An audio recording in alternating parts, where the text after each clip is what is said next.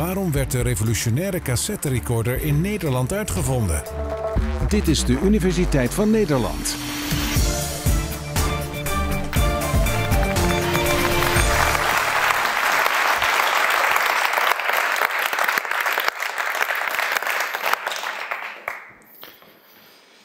Een uh, test hoe oud u bent. Wat heeft dit met elkaar te maken, deze twee? Iedereen begint gelijk te draaien. Ik zie ook als 20-jarigen die beginnen. Iedereen weet dat waarschijnlijk wel, hè? Een grapje wat op internet. Kijk, deze is te klein. Wat op internet circuleert. Ja, dit is een cassettebandje. Hier staat nog Philips op, de uitvinder van de cassettebandjes, of de eerste maker. En een potlood. En als die iets met je cassette recorder was, of je bandje was tot spaghetti vervlogen, dan pakt hij een potlood, een zeskantig potlood. En dat past dan, als het goed is, ongeveer of precies in het cassettebandje. En kun je gewoon met de hand dat ding oprollen. Time flies, hè? 30, 40 jaar geleden was dit je van het, een muziekdrager. En nu is muziek, nou ja, muziek is natuurlijk altijd virtueel zou je kunnen zeggen. Maar de, de muziekdrager is ook virtueel. Ja, het schiet in zo'n ding, zo'n uh, zo'n computer, maar tegelijkertijd is muziek overal. En heb je geen drager meer nodig, lijkt het. Voor velen is dat de aantrekkingskracht. Een plaat met al dat artwork erop, prachtig, soms een dubbel OP. Of een cassettebandje waar je bijna nou ja, kunt zien of kunt voelen waar die muziek is. de eerste keer dat ik een cassettebandje beet had, kan ik me herinneren als jongen, ging ik kijken of ik het kon zien als een soort 8 mm filmpje. Ja, dat kan dan net niet. Maar analoge, analoge muziekdrager. Um, de uitvinder is Philips, zei ik al. Um, en die, zo'n bandje, uh, de truc is natuurlijk dat het een klein dingetje is. Dat je, dat je het als het ware mee kunt nemen. Dat je muziek aan iemand kunt geven. En dat het een, een, bij een speler hoort die klein is. En ik laat er zo nog eentje zien. Dat is natuurlijk een oude droom. Dat we altijd muziek om ons heen hebben. Dat we op elk moment van de dag ergens, waar we ook lopen, in een park of langs het strand of wat dan ook, dat we muziek kunnen horen die we zelf gekozen hebben. Um, en die, die, droom die was er ook in de jaren 30. Kijk maar naar het plaatje. Um, ik kan niet goed achterhalen, waarschijnlijk een Duits merk van een koffergrammofoon. Um, ja, dat is natuurlijk een draagbaar ding. Het is portable, maar je hebt eigenlijk wel een auto nodig. En waarschijnlijk zijn er mensen die zich zo'n ding kunnen veroorloven. Ook mensen met een auto. Je zou het draagbaar kunnen doen, maar voor de foto wordt gedanst in het park. Maar hoe vaak zou nou zoiets in het park te zien zijn geweest? Niet zo heel erg vaak. Dat is precies de grote revolutie wat in dit bandje vanaf de jaren 60 vervlochten zit. De grote revolutie die ik, het klinkt overdreven, maar die ik voor consumenten gelijk schakel aan de, introductie van de telefoon, van de bril, uh, van de fotocamera niet te vergeten. En ik zal ook uitleggen waarom. Um, het eerste apparaat wat die bandjes afspeelde, is een gestandardiseerd plastic bandje. Bedacht bij Philips, Nederland, Eindhoven. Waarschijnlijk overigens ook in België is eraan gewerkt, maar dat zeggen we natuurlijk tegen niemand. Um, het bandje zelf is ook weer in Duitsland ontwikkeld, maar we vinden toch een Nederlandse vinding, vindt gelukkig ook iedereen. En het eerste apparaat, want dat is minstens zo belangrijk als het bandje zelf, um, is deze van Philips. Ziet er zo uit. Hij is best zwaar. Hij is ook best klein. Hij is ook best uh, fragiel. Ik, ik, heb gehoord dat je niet te hard met het klepje heen en weer mag, mag gaan. Een cassette recorder. Een recorder en afspeler tegelijkertijd. Bedacht in 1963. Inclusief deze microfoon. Was best een duur ding, een paar honderd gulden. En tegelijkertijd was het ook een goedkoop ding. Ik leg hem even terug neer. Hij is geloof ik verzekerd voor 1000 euro. Oh. Tegelijkertijd was het een goedkoop ding, want het was namelijk helemaal niet een apparaat wat bedacht was voor consumenten, voor gewoon privégebruik. Het was bedacht, het cassette recorder, de compact cassette speler, was bedacht door Philips voor professioneel gebruik. Gebruik um, voor secretaresses, voor journalisten, hier zie je het in beeld. Nou, toevallig is een man die dat ding gebruikt. Ik heb er ook nog een van een secretaresse die, uh, die, uh, die bezig is. Een brief te tikken van haar, uh, van haar baas. En vandaar dat er ook zo'n heel lief mi microfoontje bij zit. In 63 gepresenteerd op een grote beurs in Duitsland. En wat gebeurt er? Binnen een week of vijf waarschijnlijk. In de eerste periode dat dat ding op de markt was, dat is heel gebruikelijk bij Philips, werd een nieuw apparaat getest door familieleden van werknemers van Philips. Je werkte als ingenieur aan zo'n apparaat of je werkte in de winkel en je mocht er eentje meenemen om thuis te testen in de buurt van Eindhoven. Um, nou, lang verhaal kort. Wat gebeurt er bij die mensen thuis om dat ding te testen? De kinderen zijn er al te kippen bij om die cassette recorder van hun vader, of misschien hun moeder, maar waarschijnlijk hun vader, mee te nemen en zelf te gebruiken voor hun nieuwe hobby's. Er waren allerlei hobby's in die tijd met geluid die we nu niet meer kennen. Het opnemen van vogelgeluiden is niet meer een populaire hobby, maar was toen een heel populaire hobby. Het zelf maken van hoorspelen, dat lijkt me nog steeds leuk. Maar al heel snel natuurlijk. Wat kun je met dat ding doen? Je houdt hem gewoon voor de radio. En je kunt je eigen muziekprogramma samenstellen. Analoog aan de fotocamera en het fotoalbum, waar je natuurlijk beeld in een bepaalde volgorde uh, kunt laten zien, als je een reisje gemaakt hebt. Kun je in dit geval voor het eerst in de geschiedenis op een betaalbare manier, op een compacte manier, op een transportabele manier, je eigen geluid vastleggen en in een bepaalde volgorde. Je kunt je eigen DJ worden. Je kunt je eigen omgeving, als het om geluid gaat, maken met dit ding, wat eigenlijk bedoeld was voor secretaresses en journalisten. Philips was er al kippen bij hetzelfde jaar. Wordt dat ding als daar nou, niet echt doorontwikkeld, hoewel er heel veel nieuwe van dit soort uh, cassette recorders op de markt kwamen. Iets verbeterde versies met een luidsprekertje zonder microfoon, want die had je al heel snel niet meer nodig. Philips was er als de kippen bij om heel snel dit apparaat niet meer te richten op de zakelijke markt, secretaris en journalisten, maar juist te richten op de consumentenmarkt. En welke consumentenmarkt? Een nieuw soort mens was opgestaan, zo halverwege de jaren 50 in Amerika, komt in de jaren 60 naar West-Europa. De teenager. De teenager is letterlijk bedacht, uitgevonden. Ja, hij bestond, hè? iemand tussen 13 en 19 heeft natuurlijk altijd bestaan. Maar marketeers hebben letterlijk bedacht, in die leeftijdsgroep, 13 tot 19, 15, 16, die hebben voor het eerst geld.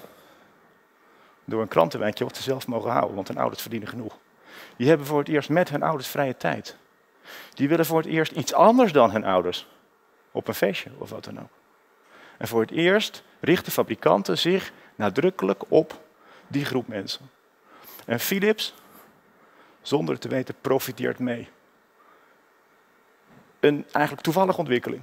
Eerst je richten op journalisten, secretaresses en het ding wordt voor andere doeleinden gebruikt. En vervolgens is er ook nog een groep consumenten, de teenagers, die dat ding van jou kopen. Philips heeft heel lang niet door dat teenagers hun product kopen. Het blijft ook heel lang zo'n grijs apparaat. Tot, ja, tot Japanners ingrijpen, maar daar heb ik straks over. Daar, daar heb ik nu gelijk over. er zijn natuurlijk andere fabrikanten die begrijpen wat kun je met die cassette recorder doen. Philips heeft er goed aan verdiend hoor. Maar andere fabrikanten hebben er misschien nog wel meer aan verdiend. Onder andere omdat ze doorhadden dat de potentie van dit kleine muziekdragertje enorm was. En de fabrikant in de wereld die echt, laat ik zeggen, ingrijpt op de ontwikkeling van Philips, is Sony. Sony in Japan. En in de jaren 70 zien zij de mogelijkheden van die cassette. Niet alleen maar een cassette recordertje, opnemen en afspelen, maar misschien juist ook wel een cassette recorder voor individueel gebruik. Niet voor groepjes zoals in het park samen dansen, nee, jij alleen een nieuwe wereld met dat geluid.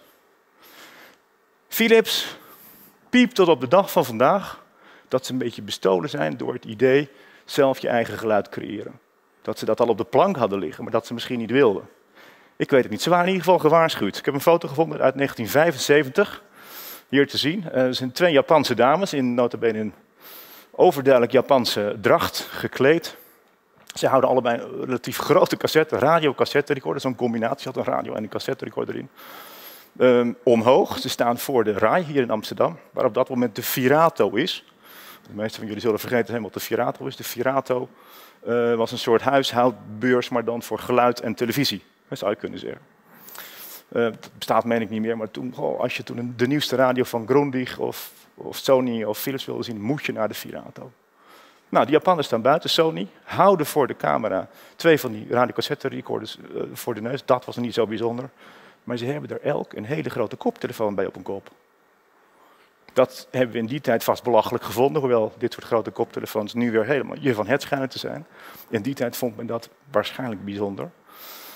Of niet, of niet aantrekkelijk, maar in 1975 was toch de wereld gewaarschuwd. Hier was Sony mee bezig.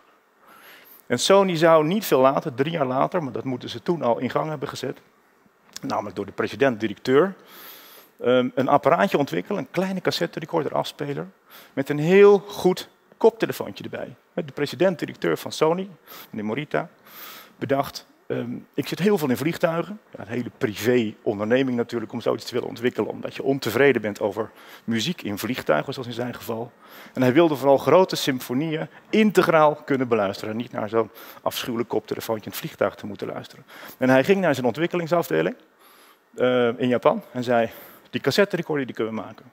Maar cruciaal is het koptelefoontje erbij. Ik wil dat het klein is, dat ik het in mijn koffer uh, mee kan nemen. En dat het van hi-fi, heette dat toen, high fidelity kwaliteit is. En de Japanners gingen aan de slag en maakten zo'n koptelefoontje. En in 1979 wordt de Walkman geïntroduceerd. Het is een soort, soort, het is een soortnaam geworden. De Wandelman, de Walkman. In 1979 presenteert Sony dit. Op deze manier, in Japan. In een park, waar mooie meisjes en jongens op rollerskates uh, de nieuwe Walkman, het nieuwe product tonen. Dus overduidelijk bedoeld voor de jeugd.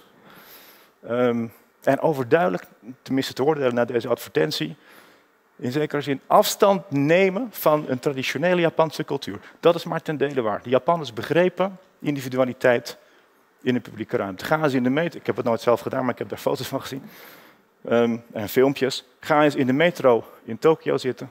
Daar zitten uh, allerlei zakenmannen, zakenlui, hele agressieve en soms ook seksuele manga's te lezen. Simpelweg omdat zij op dat moment een boekje vast hebben. De, degene die er tegenover zit, heeft daar namelijk niks mee te maken. Dat ligt hier wat anders. Er lag zeker toen wat anders.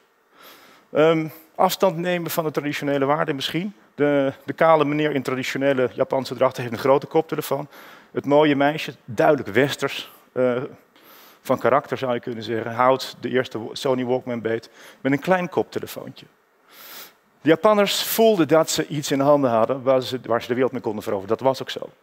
Het eerste land na Japan was Engeland, waar die Walkman werd geïntroduceerd. Ze waren nog wel beducht dat dat misschien niet zou werken voor Europa. En de eerste Walkman uh, in Engeland werd geleverd met twee koptelefoontjes, zodat je samen kon luisteren.